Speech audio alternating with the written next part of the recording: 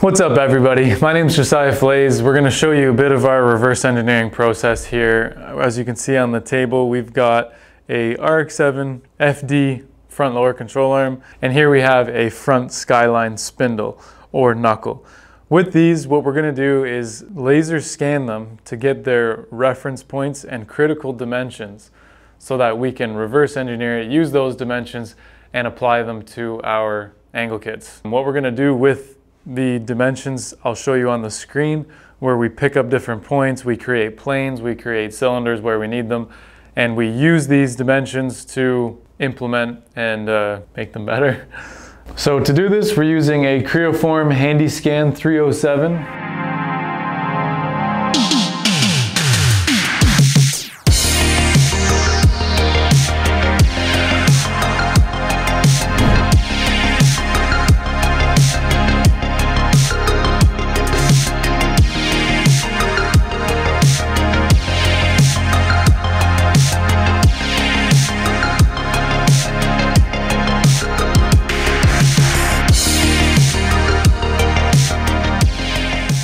This is a laser scanner that uses these reference points um, or targets to relay the information and where the part is in reference to space. Once it picks up these dots, it'll be able to know where everything else is in relation to the dots.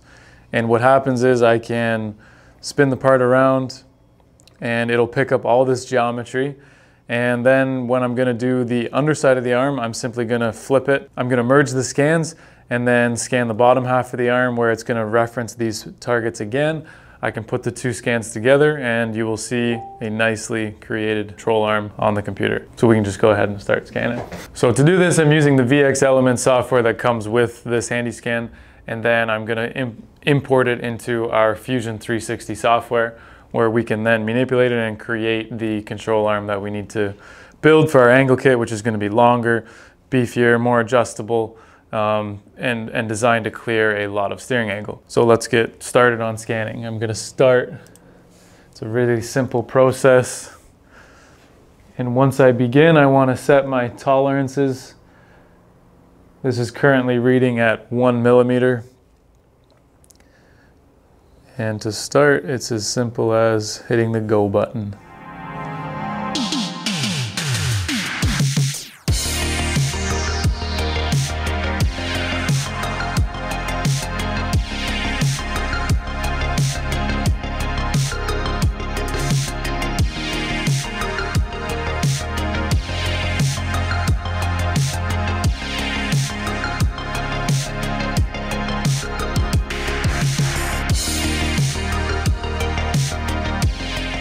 For a good scan, you want to just get a good baseline where you're picking up every target, but you're not getting all of the details that you might want.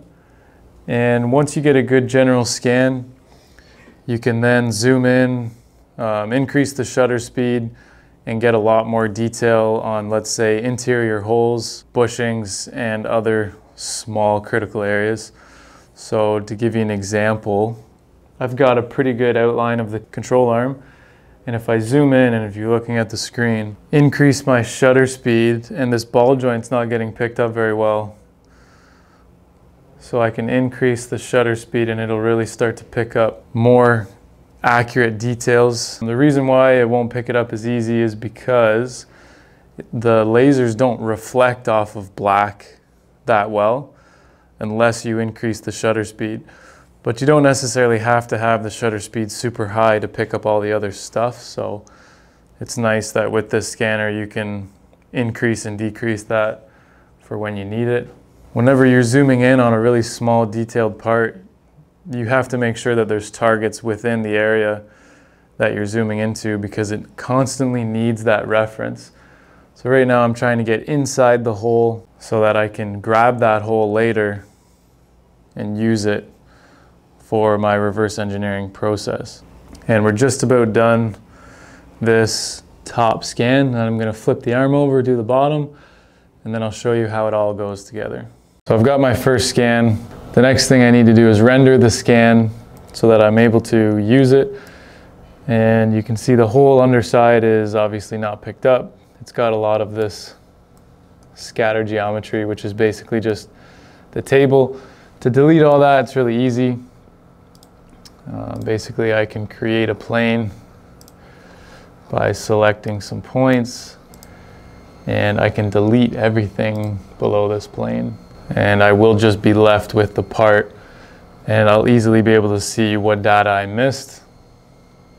Now that we can see the arm by itself, all I need to do is now flip the arm. The scanner is able to pick up these targets that I've left. When I flip the arm, it'll automatically align them and then merge the two scans together. It takes a little bit to think about it, and then once it picks up, both scans will merge together and you'll start seeing the formation of a full control arm. So let's go ahead, we'll flip this because we're gonna flip it on the table and I can see what points I wanna reference in order to grab them and align the scans. And basically from here, we just need to flip the arm and then start the scan.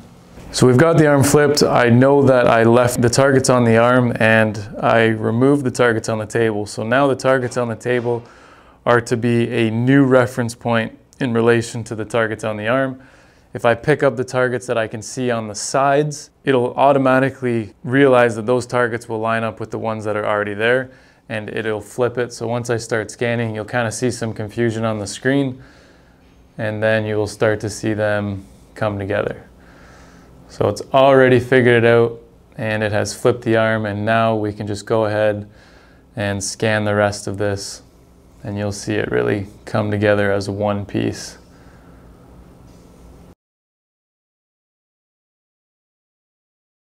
It's really important that we get some details on these holes so that I'm able to create a cylinder inside of them that I'm able to use in my Fusion 360 software to create.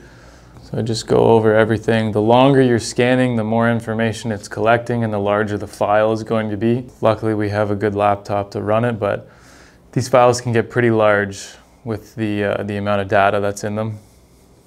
And that's it. That's really all we need to do in order to reverse engineer this control arm. So the important thing to note with these control arms is that we want to pick up on the critical dimensions that we're going to need. So obviously we're going to need the sway bar pickup point, which is this. We're going to need the shock mount, which is this. Our control arm ball joint is here. And with all these points, we are able to create cylinders, planes, cones, and other forms of data that we can use when we transfer it over into our fusion, these constraints and these critical dimensions that we pick up are going to transfer over so that I can use them and then reverse engineer my control arm from them. Um, and then I can import this arm as a mesh file where it'll be visible but not necessarily usable. Only the critical points will be usable. So just to give it a quick demonstration, I've now opened my control arm into the VX model portion of the software where I can create planes. So I'm just going to show you doing one and then the rest of it pretty much falls in line with, with what it is.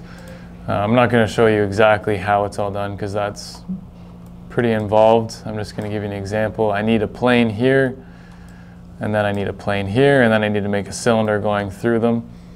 So I'm just going to select the surface. I can select a couple points so that it gives me an average. This is now a plane on that face and that's how I create it. And then I want to make a cylinder. I just select my cylinder function. I can click a similar normal size, which this is going to average a cylinder within this hole because you can see that I didn't scan, I didn't get every single part of the arm, but it doesn't really matter. It's going to pick up the majority of the hole and then average what, it, what it's picking up. It's telling me that this hole is a 12.2 millimeter hole, which makes a lot of sense because a 12 millimeter bolt goes through the hole. For constraints, I want to make sure that the cylinder is exactly normal or perpendicular to the plane. So I just select the plane that I created, make sure that it's the same, and now that's as easy as that. That's how you create that.